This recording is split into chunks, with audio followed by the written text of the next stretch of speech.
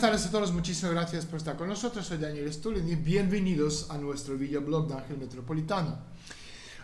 últimamente ha habido muchas preguntas de los lectores, oyentes, nuestros suscriptores y seguidores sobre China, papel de China, Taiwán, comportamiento de China, uh, su forma de ver el mundo, que yo decidí aclarar todo esto a través de nuestro videoblog semanal.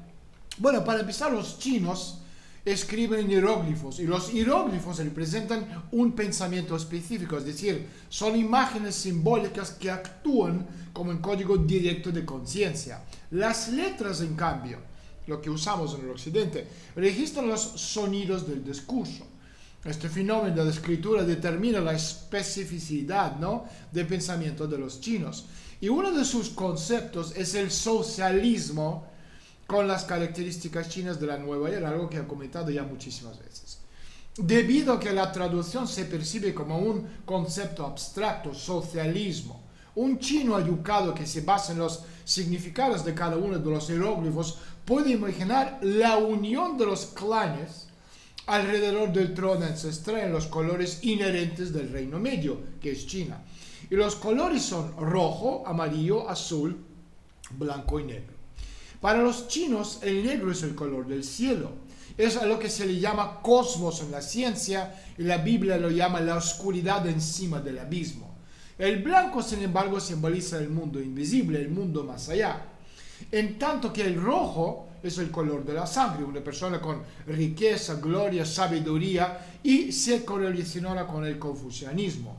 El amarillo es el color de la tierra, distinción racial, salud y cultura del pueblo Han. Estamos hablando de la doctrina de la eternidad del budismo. Y el azul, por último, es el color de la armonía, enseñanzas taoístas. En el siglo XX el símbolo del rojo fue nutrido con ideas de Mao Zedong, o sea, marxismo chino, que empezaron a dominar el poder conceptual del Reino Medio y bajo el nombre de maoísmo se comenzó a capturar la mente y el corazón de los alrededores revolucionarios. El color amarillo continúa perteneciendo a los nacionalistas chinos y bajo el azul se alinearon los liberales chinos, es decir, los campeones de la libertad, los derechos humanos, etcétera, etcétera. Los privilegios de los funcionarios no se pueden heredar y la renovación total del poder se lleva a cabo en un ciclo burocrático de cinco generaciones. En China, por consiguiente, la primera generación de líderes está vinculada con el nombre de Mao Zedong, la segunda con el nombre de Deng Xiaoping, la tercera con el nombre de Jiang Zemin, la cuarta con Hu Jintao y la quinta actual con Xi Jinping. Y con la proclamación de Xi Jinping del sueño chino como un ideal para reemplazar las ideas de Mao Zedong, ahora se están complementando o completando la expulsión del poder de los revolucionarios de generaciones pasadas. Y en el interior del país, el simbolismo revolucionario rojo se reemplaza cada vez más con el socialismo nacional amarillo. Por el mismo tiempo, a una escala mundial, los clanes azules, o sea, los liberales, permanecen en relaciones externas entrelazadas con Estados Unidos y la Unión Europea. La actual alianza del clan se formó en 1989 tras la pacificación de la rebelión contrarrevolucionaria de los liberales chinos.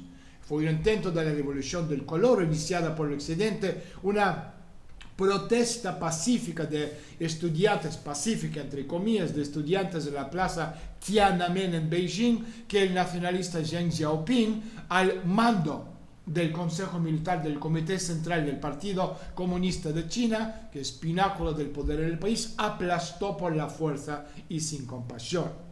La alianza del clan de 1990, o sea, herederos de Mao Zedong, miembros del Partido Rojo, los sucesores Jiang Enlai, son miembros azules del liberalismo, que son los herederos de Liu Shaoxi y Zhou De, son dragones amarillos. Después de 1989, tras el fracaso del intento por redirigir a China por el camino sinuoso del liberalismo, se logró la armonía ternaria en la sociedad bajo las condiciones de los ganadores, o sea, los nacionalistas chinos de los dragones. Y tradicionalmente los dragones son clanes militares asentados profundamente en China continental, Taiwán, la diáspora extranjera que se desarrolló durante la guerra de opio de medianos del siglo XIX, los cuales tienen fundamentos sólidos en el submundo chino. De hecho, Xi Jinping hoy día es el descendiente de los dragones chinos que perdieron las dos guerras de opio contra Inglaterra. Ahora se convoca a los dragones a cumplir una misión histórica. Son tres elementos. Uno, convertir a China en un poder mundial del primer orden. Otra, volver a meter a Taiwán en redil de la madre patria. Y por último, después del año 2020, empezar la transición del siglo Datun de esta gran unidad con el nombre oficial de la comunidad de los pueblos de un solo destino. Y de acuerdo con el canon confuciano, el cumplimiento de la misión de todo el ciclo cósmico de cambios en este imperio celestial que empezó en la dinastía Han exige que los dragones restauran la conexión entre la gente del Grau Tao, la cual se perdió en el periodo de la modesta prosperidad. Y para esto Xi Jinping necesita cómo se resolver personalmente la sagrada misión, o sea, el vínculo entre el mundo visible y el mundo invisible. Y así recibir un edicto para el poder, pero no de la gente. No estamos hablando de la democracia, no existe la democracia en China, sino del cielo. Y esto es el significado del periodo de la nueva era en la fórmula del orden de vida socialismo con características o especificidad china escrita en la carta estatuaria del Partido Comunista de China. Los chinos tienen una imagen del mundo que luce así. La estrella del norte es el centro del universo y alrededor del cual gira el cielo. El cielo estrellado de color violeta funge como el hábitat del emperador celestial y personifica el polo norte del universo. En el dogma de los cristianos, el Padre Todopoderoso es el creador del cielo, la tierra, visible, invisible, para todos. Para los chinos, el creador del mundo es impersonal, es el gran Tao indefinible. Tao da luz a uno el uno se dobla o se desdobla o se divide en dos. Y de estos dos nace la Trinidad. Y la Trinidad en China es la fuente generadora de todas las cosas chinas. Es decir, el emperador celestial, el más elevado, no es el creador, sino solo la cabeza de esta jerarquía del orden. Para resumir, la estrella del norte está en el cielo y bajo la bóveda celestial de la tierra está el emperador del reino medio, alrededor del cual gira todo el mundo celestial. Y por lo tanto, la historia se conforma de giros de distintos periodos y hay un alineamiento de fuerzas centrífugas, que es caos, del equilibrio, que es prosperidad baja, y centrípetas, que es esta gran unión, que la gente no puede modificar y controlar. Y este es el destino la gran unión Datun y por eso es tan importante para chinos hacerse con el control de Taiwán.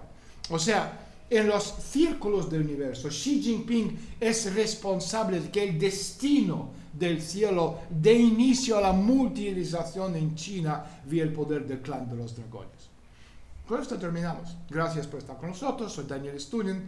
Hasta la semana próxima. En nombre de Ángel Metropolitano, que tengáis un fin de semana o una semana magnífica. Adiós.